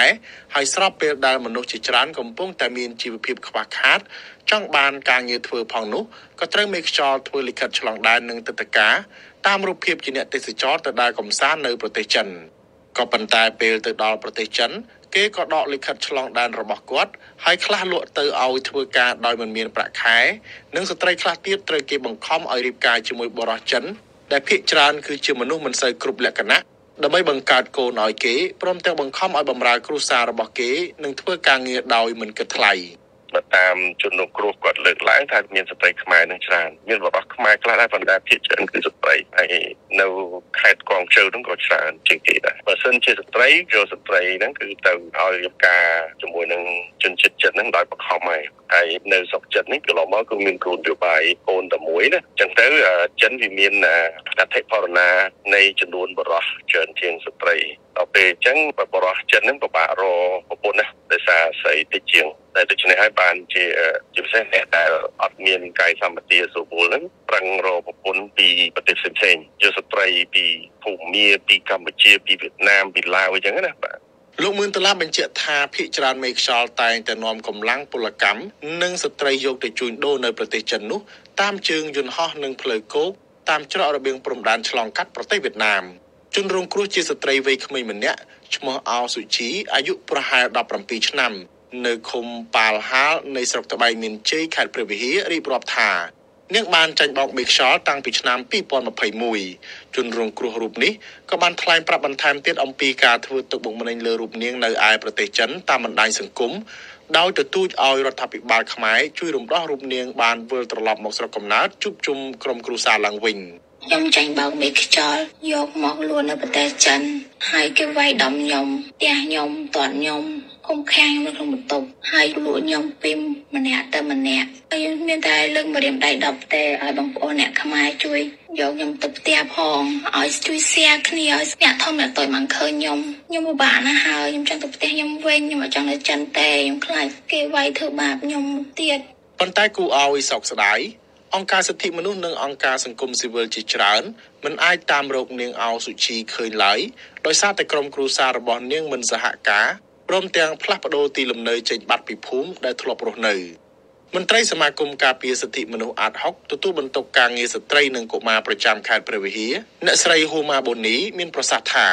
សមាគមអាត60បានព្យាយាមខ្នះខ្នែងជួយក្មេងស្រីអោសុជីនេះក៏ប៉ុន្តែម្ដាយរបស់នាងដែលជាប់ចោទពីបទលក់កូនស្រីរបស់ខ្លួននោះមិនព្រមសហការជាមួយក្រុមអង្គការក្រៅរដ្ឋាភិបាលដើម្បីផ្ដល់ព័ត៌មានអំពីកន្លែងដែលកូនរបស់គាត់ស្នាក់នៅក្នុងប្រទេសចិនទេ អត់ទាន់បានមកដល់ទេកូនហ្នឹងហើយតែមួយយើងព្យាយាមជួយម្ដាយដើម្បីឲ្យបាត់ហុកគឺយ៉ាងម៉េចតែមកក្រុមគ្រួសារហ្នឹងយើងព្យាយាមទៅតាមរកក្រុមគ្រួសារតែគឺគាត់ក៏ផ្លាស់ទីនៅហ្នឹងទៅណាអ្នកខ្លះថាគាត់ផ្លាស់ដូរទៅនៅភ្នំពេញទៅអីចឹងអញ្ចឹងករណីហ្នឹងអត់ហុកអត់បានធ្វើអីគាត់ហើយណាមួយករណីរឿងហ្នឹងគាត់មេខ្យល់ហ្នឹងក៏ជាប់ពន្ធនាគារអីរួចអស់ហើយជនរងគ្រោះជាស្ត្រីខ្មែរម្នាក់ទៀតសុំមិនបញ្ចេញឈ្មោះ រស់នៅស្រុករវៀងខេត្តព្រះវិហារដែលទើបតែជួយសង្គ្រោះឲ្យត្រឡប់មកពីប្រទេសចិនវិញនាងបានប្រាប់វិទ្យុអាស៊ីសេរីថាមេខ្យល់បានបោកបញ្ឆោតរូបនាងយកទៅស្រុកចិនតាំងពីចុងឆ្នាំ2015មេខ្យល់បានឲ្យប្រាក់ទៅម្ដាយរបស់នាងចំនួន1000ដុល្លារអាមេរិកហើយប្រាប់ថានាំរូបនាងទៅធ្វើការនៅប្រទេសចិនបានប្រាក់ខែច្រើនបន្ទាប់មកមេខ្យល់នាំរូបនាងឆ្លងដែនតាមប្រទេសវៀតណាមហើយស្នាក់នៅក្នុងប្រទេសវៀតណាមប្រហែលជាកន្លះខែ ពេលស្នាក់នៅក្នុងប្រទេសវៀតណាមនោះនាងបានដឹងថាគេមិនមែននាំរូបនាងទៅធ្វើការនៅប្រទេសចិនទេគឺយករូបនាងទៅលក់ឲ្យរៀបការជាមួយបរិសុទ្ធចិនម្នាក់ដែលជាប្រភេទមនុស្សមិនសូវគ្រប់ទឹកស្ត្រីដដែលបញ្ជាក់ទៀតថាបើទោះបីជានាងដឹងថាបរិសុទ្ធដែលនាងត្រូវរៀបការជាមួយគឺជាមនុស្សដែលមិនគ្រប់លក្ខណៈក៏ដោយក៏រូបនាងមិនអាចប្រកែកបានទេពីព្រោះខ្លាចគេធ្វើបាបនាងមិនដឹងថាមេខ្យល់ដែលនាំនាងទៅនោះគេទទួលបានប្រាក់ចំនួនប៉ុន្មានពីបរិសុទ្ធចិននោះទេ ក៏ប៉ុន្តែនាងដឹងត្រឹមតែថាម្ដាយរបស់នាងទទួលបានប្រាក់តែ1000ដុល្លារគត់មុនពេលគេនាំរូបនាងចេញពីផ្ទះគេធ្វើបាបផ្លូវចិត្តហ្នឹងគេចាត់ទុកយ៉ាងដូចប្រពន្ធចាត់ទុកដូចជាស្រីកំដរអារម្មណ៍ដូចគេចង់បានតែកូនគេជឿគេស្ដីគេស្អប់គេវាយធ្វើបាបគាត់តែអត់ពេញចិត្តយើងយើងនៅមួយគេអត់ទៅសម្រងចឹងទៅកាត់កូនបានមួយខែអត់តនេះចង់រស់នៅមួយខ្ញុំហ្មងបខំចង់មានកូនប្រុស ព្រោះពេលខ្ញុំមានកូនខ្ញុំមានតែស្រីខ្ញុំពិបាករស់នៅជាមួយដោយសារឲ្យបាយឲ្យចំណីហូបតែលុយអត់ឲ្យទេលុយគឺឲ្យទៅម្ដាយគាត់អ្នកកាន់ទាំងអស់បញ្ហាមួយទៀតគាត់ឲ្យខ្ញុំតាក់តងមកម៉ែពុកនៅខ្មែរចឹងទូរស័ព្ទក៏អត់ឲ្យខ្ញុំលេងដែរហើយសំបីតែខ្មែរខ្មែរទៅគាត់ក៏គាត់អត់ឲ្យជួបអត់ឲ្យស្គាល់ខ្ញុំអត់ឲ្យខ្ញុំចេញទៅណាឲ្យខ្ញុំនៅតែក្នុងផ្ទះខ្ញុំពិបាកអត់មានសេរីភាពហ៎ អ្នកស្រីហ៊ូម៉ាបូនីឲ្យដឹងថាក្នុងឆ្នាំ2023នេះសមាគមការពារសិទ្ធិមនុស្សអាត់ហុកបានជួយសង្គ្រោះប្រជាពលរដ្ឋក្នុងខេត្តព្រះវិហារដែលគេជួញដូរទៅប្រទេសចិនឲ្យត្រឡប់មកផ្ទះវិញបាន7ករណីហើយអ្នកនាំពាក្យសមាគមការពារសិទ្ធិមនុស្សអាត់ហុកលោកសង្សានករណាមានប្រសាសន៍ថា រូបភាពនៃអំពើជួញដូរមនុស្សទៅកាន់ប្រទេសចិនភាគច្រើនគឺចាញ់បោកមេខ្យល់តាមរយៈមិត្តភ័ក្តិឬក៏សាច់ញាតិបញ្ចុះបញ្ចូលឲ្យយល់ព្រមទៅធ្វើការដោយសារតែឃើញមនុស្សខ្លះដែលគេទៅធ្វើការនៅចិន មានលុយច្រើនជីវិតបែបហឺហាជាដើមរូបភាពខ្លះទៀតគឺជារបៀបរៀបការជាមួយបរិសុទ្ធចិនក៏មានប៉ុន្តែពេលដែលចេញពីប្រទេសកម្ពុជាទៅដល់ប្រទេសចិនទើបដឹងថាខ្លួនចាញ់បោកគេ ពេលខ្លះយើងក៏មានការជួយត្រឡប់មកបានពេលខ្លះក៏ពិបាកក្នុងការជួយត្រឡប់មកវិញដែរដោយសារតែជនខលខូជនល្មើសហ្នឹងគេមានល្បិចក្នុងការលាក់បាំងក្នុងការទប់ស្កាត់មិនឲ្យពួកគាត់មានឱកាសវិលត្រឡប់មកវិញជាដើមអញ្ចឹងហើយយើងមានការព្រួយបារម្ភណាស់ហើយអញ្ចឹងហើយបានផ្សព្វផ្សាយឲ្យជាពលរដ្ឋគាត់យល់ដឹងមានការគិតពិចារណាឲ្យបានខ្ពស់មុននឹងធ្វើចំណាក់ស្រុកចេញទៅក្រៅប្រទេសទៅអីជាដើមជៀសវាងមានការចាញ់បោកទៅនឹងមេខ្យល់ហើយធ្វើឲ្យមានបញ្ហាមកដល់ខ្លួនឯងជាដើមនឹងឯងបើទោះបីជាយ៉ាងណាវត្ថុអាស៊ីសេរីមិនអាចសុំការបញ្យល់ពីអ្នកនាំពាក្យក្រសួងការបរទេសលោកអានសុខឿននិងរដ្ឋលេខាធិការក្រសួងមហាផ្ទៃទទួលបន្ទុកប្រឆាំងការជួញដូរស្ត្រីនិងការពីអនិច្ចជនអ្នកស្រីជូប៊ុនអេងបានថាយ៉ាងណានៅឡើយទេនៅថ្ងៃទី4ខែវិច្ឆិកានាយកប្រតិបត្តិអង្គការសង្ត្រាល់លោកមឿនដុល្លារឲ្យដឹងថាក្នុងរយៈពេល10ឆ្នាំចុងក្រោយនេះ អំពើបោកបញ្ឆោតនាំមនុស្សទៅជួញដូរកម្លាំងពលកម្មនិងផ្លូវភេទពីកម្ពុជាទៅប្រទេសចិនមិនថយចុះទេបើទោះបីជាក្រសួងការបរទេសកម្ពុជានិងស្ថានទូតចិនប្រចាំកម្ពុជាធ្លាប់បានពង្រឹងកិច្ចសហប្រតិបត្តិការដោយរដ្ឋបတ်ក្នុងការចេញទឹកដីការឲ្យស្ត្រីខ្មែរទៅលេងចិន មានកម្រិតមែនក៏ប៉ុន្តែការនាំស្ត្រីខ្មែរឲ្យធ្វើដំណើរតាមយន្តហោះបានថយចុះហើយការធ្វើដំណើរតាមផ្លូវគោកនៃច្រករបៀងព្រំដែនកម្ពុជាវៀតណាមបានកើនឡើងទៅវិញ គេហទំព័រឈ្មោះ Modern Diplomacy បានដកស្រង់តាមរបាយការណ៍អង្គការសហប្រជាជាតិស្តីពីគ្រឿងញៀននិងឧក្រិដ្ឋកម្មមកផ្សព្វផ្សាយកាលពីថ្ងៃទី3ខែវិច្ឆិកាថាការជួញដូរមនុស្សនិងបេសកចារនៅកម្ពុជាបានកើតមាននៅខេត្តព្រះសីហនុតាំងពីឆ្នាំ2019នៅតាមកន្លែងលេងល្បែងស៊ីសងស្របច្បាប់ជាច្រើនប្រទេសកម្ពុជាមិនត្រឹមតែជាប្រភពដែលផ្គត់ផ្គង់បេសកចារទៅឲ្យប្រទេសដទៃទៀតក្នុងការជួញដូរផ្លូវភេទប៉ុណ្ណោះទេកម្ពុជាក៏ជាចំណុចឆ្លងកាត់ របស់ក្រុមជួញដូរមនុស្សមកពីប្រទេសចិនវៀតណាមនិងថៃផងដែរអង្គការសហប្រជាជាតិស្តីពីគ្រឿងញៀននិងឧក្រិដ្ឋកម្មបានរកឃើញទៀតថាបច្ចុប្បន្ននេះក្រៅពីការនាំស្ត្រីទៅជួញដូរនៅក្រៅប្រទេសគឺស្ត្រីជាច្រើនទៀតត្រូវគេជួញដូរពីតំបន់មួយទៅតំបន់មួយក្នុងប្រទេសកម្ពុជាដូចជាខេត្តសៀមរាបក្រុងព្រះសីហនុនិងរាជធានីភ្នំពេញក្នុងតម្លៃខ្លួនដែលបរិះបរទេសហ៊ានចំណាយប្រាក់ពី800ទៅ4000ដុល្លារដើម្បីរួមភេទក្រុមអង្គការក្រៅរដ្ឋាភិបាល យល់ថាបច្ចុប្បន្ននេះពាក់ព័ន្ធនឹងអំពើជួញដូរមនុស្សចេះតែកើនឡើងគឺដោយសារតែការបង្ក្រាបមិនមានប្រសិទ្ធភាពពីព្រោះតែមន្ត្រីនិងកងកម្លាំងសន្តិសុខរបស់រដ្ឋាភិបាលខ្លះមានជាប់ពាក់ព័ន្ធនឹងការខុបខិតជាមួយបណ្ដាញអ ுக ្រិតជនហើយប្រព័ន្ធតុលាការទៀតសោតក៏មានអំពើពុករលួយទទួលសំណូកជាធ្នូនឹងការមិនចោតប្រកាន់និងផ្ដន្ទាទោសទៅលើក្រុមអ ுக ្រិតជនទាំងនោះជាដើមខ្ញុំថាថៃពីទីក្រុងមែលប៊នរឿងមួយទៀត រឿងសាហាវណាស់បងអឺមិនបតោម្ដាយឪពុកល្មមទេបងម្ដាយឪពុកល្ងងល្ងងចាញ់បោកគេបងជាពិសេសត្រូវអប់រំពលរដ្ឋខ្មែរទូទៅកុំឲ្យចាញ់បោកមេខ្យល់អាហ្នឹងអប់រំសំខាន់ណាស់មួយ ហើយជាប្រសង់ទេសនាហ្នឹងក៏អត់ព្រមទេរឿងហ្នឹង នឹងទេរឿងអីឋានសួគ៌ឋានសួគ៌ឋានអីនោះទៅមិនទាន់បានទេបើបើនៅលើផែនដីនេះឈួរផែនដីអត់អត់គេទៅគេធ្វើបាបទេសងគ្រោះអ្នកទៅគេទៅគេធ្វើបាបសិនហើយចាំឡើងឋានសួគ៌ក្រោយហើយឡើងឋានសួគ៌មនុស្សគេធ្វើបាបគេជិះជន់ដីអត់មានគេរឹបអូសយកដីបីក៏ប្រសងទេសនាមិនព្រមនិយាយផងខ្លាចខ្លាចហួសហេតុ ការពារពលរដ្ឋរបស់ខ្លួនគឺឆាន់បាយប្រសក់តើតែប្រសក់អត់ប្រគេនឆានទៀតអត់ដែរមិនគុំព្រមទេសនាបយលបរិស័ទមានខុសច្បាប់អីអាបាយមុខព្រះលោកហាមតើទេទៅកុំឲ្យចាញ់បោកមេខ្យល់ទៅជួញដូរមនុស្សអញ្ចឹងជាប្រាប់ប្រាប់កូនស្រីស្រីហ្នឹងបើទៅអប់រំប្រសងនឹងឯងទៅអប់រំអើពីម្ដាយពុកទៅ ម្ដាយពុកកុំជឿគេពេកអឺហើយផ្លិចផ្លិចសុភាសិតដែរធ្វើស្រែឲ្យមើលស្មៅទុកដាក់កូនចៅឲ្យមើលផៅសណាមនេះក៏ផ្លិចហ្នឹងបង្រៀនល្អណាស់យើងអត់ស្គាល់គេផងឲ្យឲ្យកូនស្រីធ្វើបាបកូនស្រីខ្លួនបដ ாய் ឲ្យទៅតាមចិត្តយើងអត់ទៅមើលតាមដានតែក៏យកធ្វើអីអានោះម្ដាយខុសម្ដាយម្ដាយខុស ព្រោះតែលក់កូនទៅទៀតអាហ្នឹងវាខុសខ្លាំងឡើងទៅធ្វើទៅចាប់ម្ដាយដាក់គុកដាក់គុកដើម្បីរៀងចាលព្រោះដាក់គុកទៅអ្នកដតីទៀតអត់ហ៊ានទៅចឹងទេ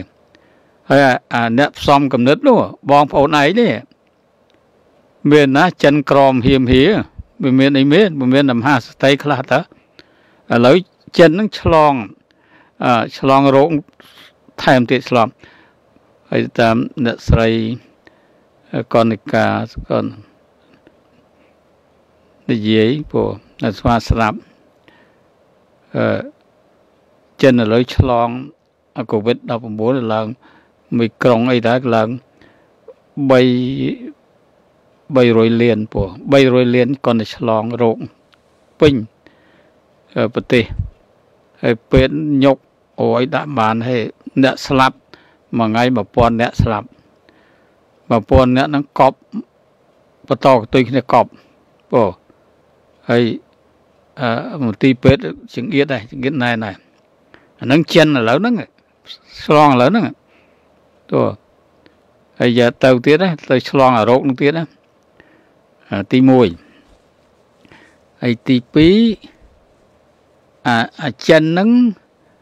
វាអូស្រីអត់បានប៉ុន្តែស្រុកចិន ហើយអាអាអាស្រីចិនអត់យល់មកពីគឺខ្លះអត់រៀនសូត្រផងមិនចេះហ្នឹងគុំនេះវាឲ្យប្រើតែគុំនេះវាអត់រៀនអត់ចេះអក្សរទៅទីក៏មានអាខ្លះលីលើលីលើនោះហ៎ហើយវាឲ្យចិនកចាស់យល់ស្រីខ្មែរកចាស់អូធ្វើបាបស្រីខ្មែរហ៎បណ្ដាឪពុកទៅគិតណា ក្រអីក៏ដោយស៊ូនៅស្រុកនៅស្រុកខ្លួនទៅកុំឲ្យយកកូនស្រីខ្លួនទៅលក់ដូរអញ្ចឹងបើបើលក់ដូរហើយក៏ចាញ់បោកគេ ថាកុំឲ្យជឿគេឲ្យសោះទៅជឿខ្លួនឯងទៅពិចារណាច្បាស់កុំជឿហើយប្រសងនោះទៅទេសនាទៅយករឿងហ្នឹងមកទេសនារឿងស្រារឿងអាភៀនរឿងស្រីឯទៅលក់នៅបរទេសនេះមិនក៏ប្រសងមិនព្រមមានប្រធានដីកា ខ្លាចអីមានខុសច្បាប់អីណាជួយសងគោះប្រជាពលរដ្ឋរបស់យើង គេឲ្យបាយឆាន់ហ្នឹងមកគេឆាន់បាយឃើញរះមានទុកមិនកំពុំមានធេរដីកាមិនក៏នៅស្ងៀមយកសុកខ្លួនយើង យើងបួសបានដោយសារប្រសក់អស់ហ្នឹងហ៎មិនកំពុំជួយប្រសក់ហើយទេសនាចង់កបោះព្រោះអាហ្នឹងមួយរឿងប្រសង ហើយគួរអប់រំគួរអប់រំចាត់អ្នកដែលចេះចម្រៀងការរឿងហ្នឹងមកអប់រំរះទៅតាមសុកខ្សែចំការហើយពួកមេឃុំពួកអីហ្នឹងត្រូវហាមគាត់វិជារះធ្វើអីមេឃុំអស់ហ្នឹងមិនកំបាប់រះខ្លួនមេមេសុកមេភូមិអីហ្នឹងមិនកំបាប់ហាមបរតកុំឲ្យជឿគេឥឡូវតាមយន្តហោះពិបាកបន្តិចក៏តាមផ្លូវគោក តាមផ្លូវទៅយួនទៅអីឆ្លងកាត់ស្រុកយួនទៀតព្រោះកុំឲ្យជឿថាចិននឹងវាមិនមានអីធ្វើថៅកែណាធ្វើថៅកែគ្រប់គ្នាបក្រជាង1000លានអ្នកបានអីស៊ីណាតែបើថាធ្វើការបានលុយច្រើន មានតែកូរ៉េខាងត្បូងទេតាមលើលើកូរ៉េខាងត្បូងសូមទៅម៉ាឡេស៊ីដែលធ្វើបំរើតាមផ្ទះក៏ធ្វើបាបគ្នាច្រើនណាស់ គឺបិទអញ្ញាធរគាត់បិទម្ដងហើយកុំអោយទៅទៅម៉ាឡេស៊ីទៅបំរើតាមផ្ទះទៅធ្វើបាបបង្អត់បាយគ្នាធ្វើអីបើទៅពិនិត្យមើលឡើងវិញអ្នកដែលធ្វើការនៅម៉ាឡេស៊ីមិនធ្វើបាបមិនខ្លះទេបើនៅថៃយើងឆាប់ដឹងថៃកាន់ពុទ្ធសាសនាដែរបើមិនបាច់ធ្វើបាបក៏ទៅតាមច្បាប់របស់គេទេបើក៏ដូច្នេះអឺធ្វើម៉េចកុំឲ្យ ជួយស្ត្រីទៅចិនបាទចិនវាក្រណាស់បងបងហើយចាញ់បោកមួយខ្យល់ចាប់មួយកលមួយខ្យល់កុំកុំឲ្យចេញពីគុកបានណាអាប្រុសវិស័យអស់ហ្នឹងវាចង់បានលុយធ្វើបាបជន់ជាតិខ្លួនណាហ៎ចង់បានលុយគេពេកណាធ្វើមេខ្យល់ចាប់ដាក់គុកឲ្យយូរកុំកុំឲ្យដោះលែងបើងាយរៀងទេ ហើយអាពួកប៉ូលីសពួកអីហ្នឹងទៅសំកលុំពួកតឡាការសំកលុំគេឲ្យលុយទៅញុកមាត់លេងនិយាយកើតណាលេងនិយាយទៅថាអត់ចោតប្រកាន់អីហ្នឹងពួកតឡាការហ្នឹងឯងពួកទៅចោតប្រកាន់អាអឺអាមេខ្យល់ហ្នឹងហើយអឺពួកពលីធ្វើសហការគេឲ្យលុយទៅបិទមាត់ឲ្យគេយកស្រីខ្មែរទៅលក់ឲ្យប្រទេសប្រទេសចិនបង ធ្វើបាបធ្វើបាបស្រីខ្មែរណាមិនដែរពងទៅថែទាំហើយកុំឲ្យជឿតាមគេ បានប្រាក់ខែណាព្រោះចេះ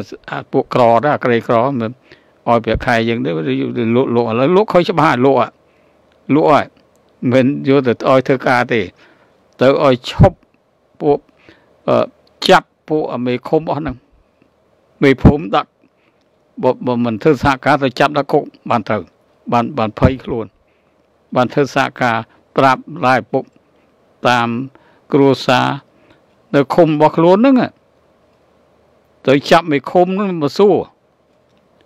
បើធ្វើឲ្យខ្លាំងហ្នឹងបានបានបើមិនធ្វើខ្លាំងអត់បានទេពោមានវិធីច្រើនណាស់ដែលទៅការពារឲ្យយល់ឲ្យវិជារិះយល់ឲ្យកូនខ្លួនយល់ហើយឲ្យម្ដាយពុកយល់ក៏ហាមគាត់បានព្រមទៅទៅធ្វើធ្វើបាបពលរដ្ឋរបស់ខ្លួន ជាអរិយៈខ្ពស់ផងទៅគឺចាញ់បោកហើយមីមីខ្យល់អស់នឹង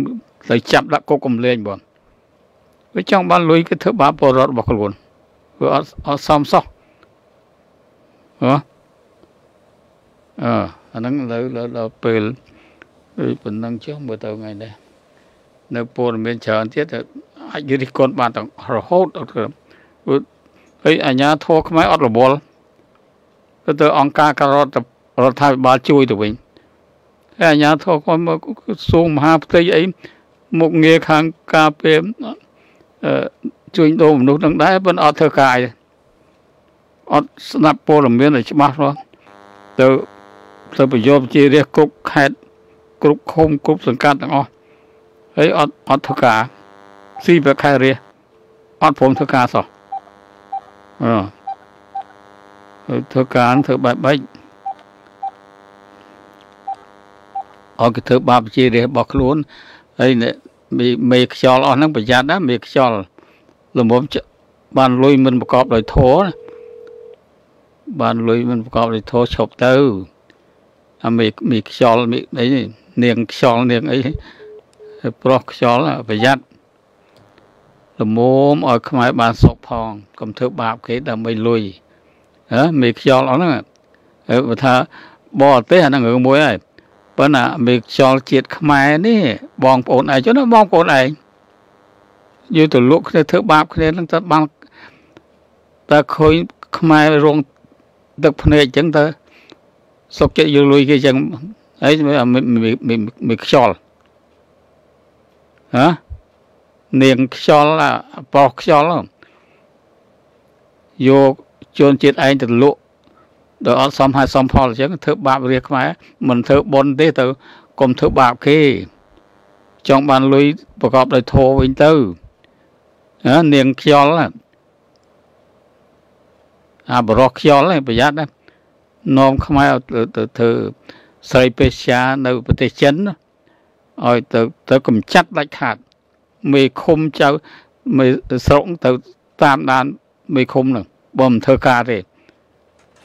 ឲ្យគេយកពលរដ្ឋរបស់ខ្លួនទៅលក់ដូរនៅស្រុកចិនអញ្ចឹងតើសមទេមេឃុំនៅកាន់មេឃុំធ្វើអីមេឃុំអស់ហ្នឹងហ៎មើលក៏បដោយឲ្យអាមេខ្យល់លងលងបានហ៎ហើយម្ដាយពុកទៅសរសាកុំធ្វើបាបកូនខ្លួនសួរធ្វើការនៅស្រុកសួរក្រីក្រជាងជាងឲ្យគេធ្វើបាប ធ្វើបាបកូនខ្លួនណាណាធ្វើស្រែឲ្យមើលស្មៅទុកដាក់កូនចៅឲ្យមើលសោសន្តានហើយបដ ாய் ឲ្យមេខ្យល់យកទៅ បានលុយប្រហែលក៏មិនទៅយកដែរដឹងយកគេយកទៅធ្វើបាបកូនស្រីខ្លួនទេហ៎ម្ដាយពុកអាណាព្យាបាលហើយណាអាបងប្អូនគេញុះញង់ឲ្យទៅនេះអាហ្នឹងទៅចាប់ដាក់គុកដែរពូហ្នឹងណែនាំឲ្យទៅឲ្យគេយក កូនចៅខ្លួនទៅធ្វើបាបពអាហ្នឹងថ្ងៃនេះដូចប៉ុណ្ណឹងចុះថ្ងៃនេះតែឮទៅក្តៅកាហាយមួយអឺអញ្ញាធរខ្មែរអត់ព្រមធ្វើការឲ្យខ្លាំងព្រោះអាពុទ្ធលាការបលីអេស៊ីសំឡោកបដោយបិទមាត់ដាក់លុយបិទមាត់ហ្មងអើអត់ចាប់មេខ្យល់អស់នឹងយកដាក់គុកដាក់ច្បាប់អឺ ខាងក្រសួងមហាផ្ទៃមានមុខងារចឹងដែរស្រីប្រុសមិនគុំធ្វើការឲ្យខ្លាំងធ្វើទៅអង្គការការរដ្ឋាភិបាលជួយរំដោះស្រីនឹងវិញពួករដ្ឋាភិបាលអត់រវល់អីទេអត់សោះព្រោះទេតែខ្លួនគ្រាន់បើដល់ណាបើឥឡូវចប់ប៉ុណ្ណឹងចុះព្រោះថ្ងៃនេះសូមអរគុណ thank you